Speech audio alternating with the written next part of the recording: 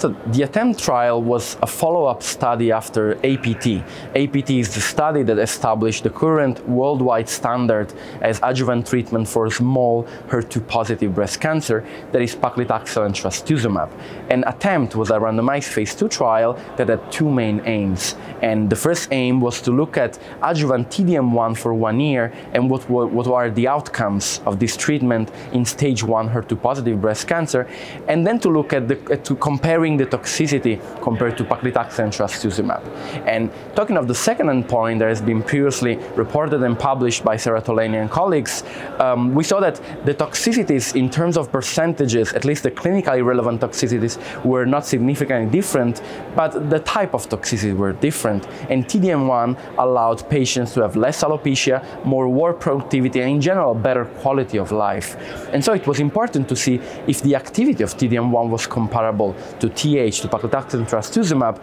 And at this five-year end of study analysis, this is what we found, is that the efficacy of TDM1 at preventing recurrences was outstanding, with 97% invasive disease-free survival rate and 98.3% relapse-free interval rate, that I believe is the most important endpoint because it was, reflects actually the, the recurrences. There were very few, only three distant recurrences among 383 patients that really speaks of the efficacy of this regimen and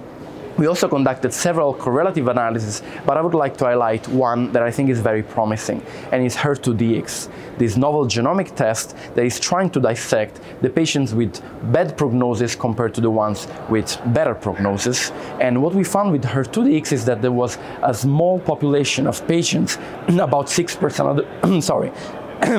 about 6% of the patients treated with TDM1 or, or TH in the ATEMPT that had up to 20% risk of recurrence compared to most of the other patients at less than 2% risk of recurrence. And this is very important because if a test could allow us to predict which are the few patients that could recur, that could experience a recurrence, maybe in those patients we could theoretically think of escalating treatment, but it is only an hypothesis, of course, not something to do tomorrow in the clinic, whereas all of the other patients could receive a de-escalated regimen like paclitaxel, trastuzumab, or TDM1. So for the moment, these are retrospective analyses with HER2-DX, so we need prospective trials with these tests, but I believe that is very, very promising, and in the future could help to refine treatment tailoring in HER2 positive early and maybe also metastatic breast cancer.